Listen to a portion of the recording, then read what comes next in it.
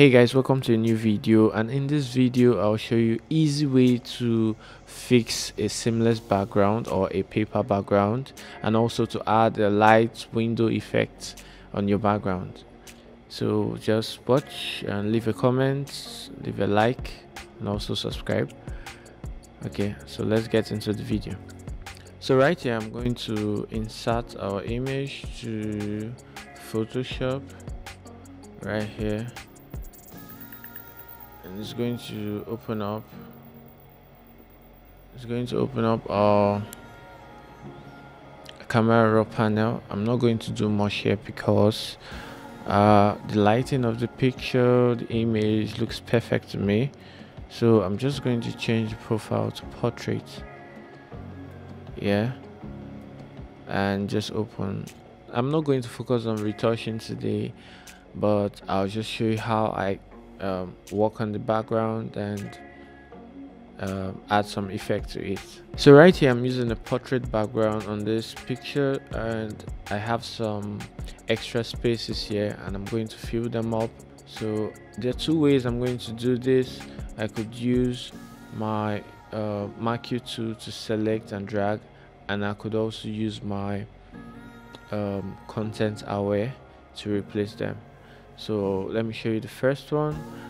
I'll draw with my marquee tool rectangular marquee tool and then click on move tool to shift this layer while I'm doing that I have to hold down shift. If I don't hold down shift it's going to look like this. So I have to hold down shift and pull to my right. And I'll do the same for the left make sure you pick from good area and then click on this. This area are going to show. And you pull to your left like so. Press ok. And then this little area you can also pull from up down to fill up. As you can see some part of the dress is not has been covered so I can use my history brush to bring those areas back. This is the first method to fix your background those extra layers of the background. And now I'm going to take it back and show you the other method. You could click this select this area and select this area as well and then click and fill you see this panel press ok. Content aware press ok. And there you go. Uh, you could also notice there's some extra uh, pattern here from the dress so I'll use my patch tool to take this off and replace it with the good side of the background and there you go. You have your complete background filled up.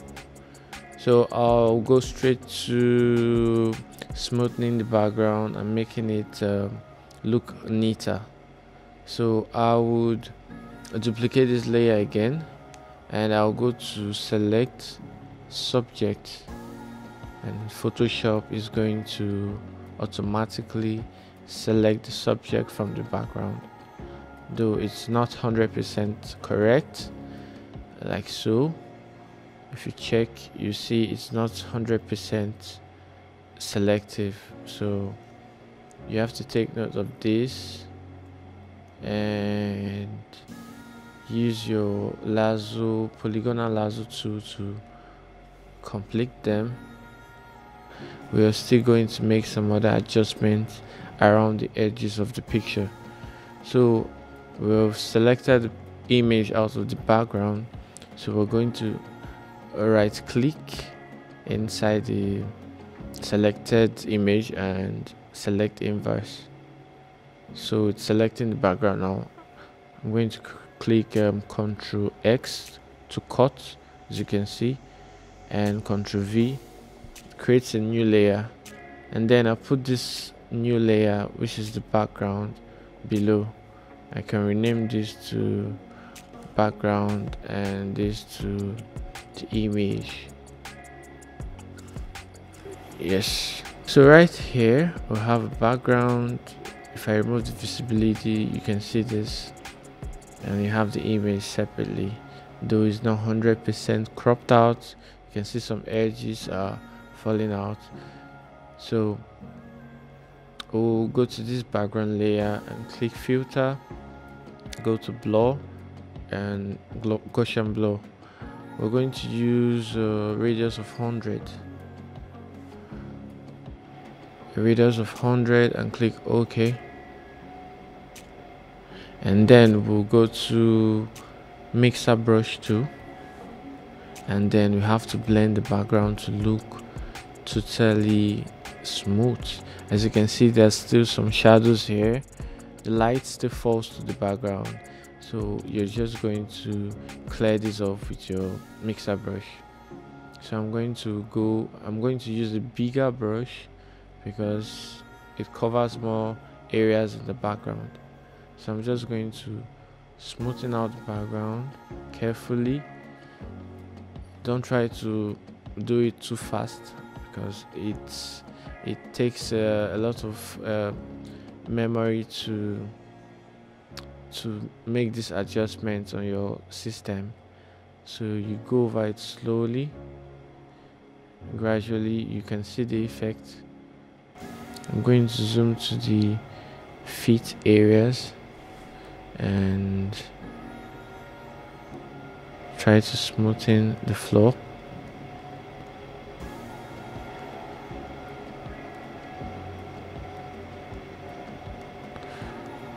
so there you go.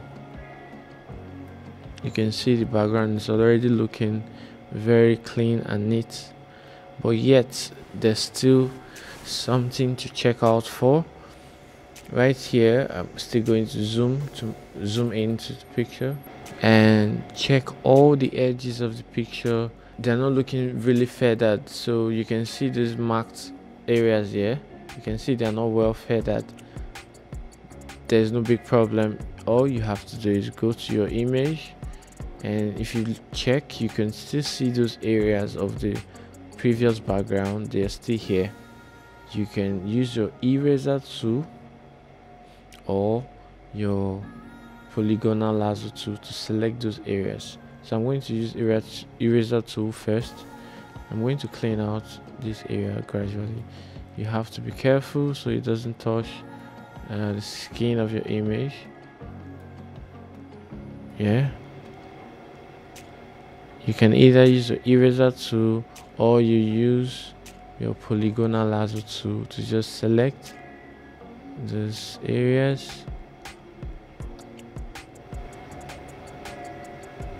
And then delete or backspace. And let's see what we got here. You can see it's looking neater now. Then if uh, this background covers covers the images like some part of the image are being covered you have to use your, eraser tool to clean out the background. Because when you blur a background it kind of extend it's kind of it kind of extend to other areas especially on the edges. So I'm going to clean these edges of the background that are falling into the image. I'm just going to use eraser tool to clean it. And I'll check my image from head. You can see some part of of the head area is sticking up by the background or rather is being cropped out of the image. I have to use my history brush to bring them back. Okay you can see some parts of the hair are being uh, taken by the background so I'm going to erase those area like so so I can still see the hair like that and then I'll go through the body to check if some areas are not well selected. I'm going to just erase them. I have to select image if I see them and background if the background is covering them.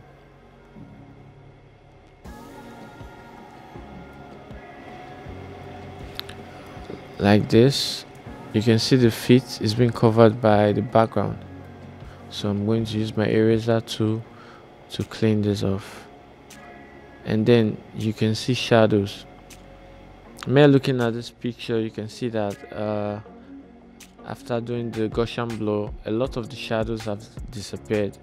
And we need shadows to make the picture look real. So we have to clean out we have to erase some part of the background so we can still see shadows so it won't look like the picture is actually you know uh, baseless. So I'm going to clean out some parts of the the the floor especially where the shadows are so they can still look it can still look real. So here you go. I've cleaned some parts of the background. You can see that so I'm looking carefully around the image if there's any part of the image that's that's being cleaned out so I have to bring them back. Like so I think my image is ready and background is clean. So I'm going to show you how to insert um, a window light effect on your pictures still on this process I have this um, downloaded a, a, window effect. You can go to Google and put out uh, just type in window lights shadow overlay effect and you get all this. You can download them and you can also um, place them on your image so I have this tree already downloaded. I'm going to use this for the sake of this video. I'm just going to drag and drop and uh, pull it up. You can see some tags here. I'm going, I'm going to crop that off. I have to rasterize. I'm going to crop this off like so. So there you go. You see uh, the image I added this image behind the the image layer as you can see. So I'm going to change the blending mode to let's say soft lights or multiply. Uh, let's say multiply. I'm going to use multiply for this particular one. I'm going to extend this this shadow. So the idea of this um, effect is more like um, when you're using a, an optical snoot and when you don't when you don't have it yet you can actually do some tricks with your photoshop. So here i have my image. What i'm going to do now i'm going to erase this um, edges so it will fit in with the background like this. I'm just going to erase the edges like this and you can see the image is kind of a bit darker than background so I have to reduce the opacity until it looks better. As you can see we're all set. Looking beautiful. You can see the light effect still on the background. And I just noticed there's still some part of the previous layer on the image. I'm going to clean this out with my eraser tool on the image. So I'm going to clean this. I just noticed out. And there you go. Looking good. So this is how I fix my seamless background and also add effect to the background layers. So thanks for watching. I'll see you on the next video